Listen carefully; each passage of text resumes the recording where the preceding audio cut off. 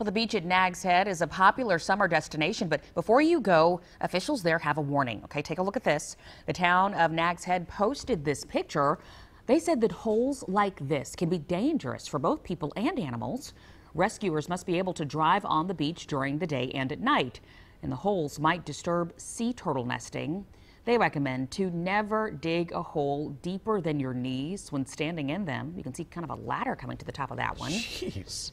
How do they dig? Yeah, that, that's quite quite intense there. Also, you want to make sure to fill it before you Ah, leave. okay. Wow, What in the world? a lot of time. Yeah, a lot of time. Looking for treasure? Yeah, yeah, it, took a, it wasn't there.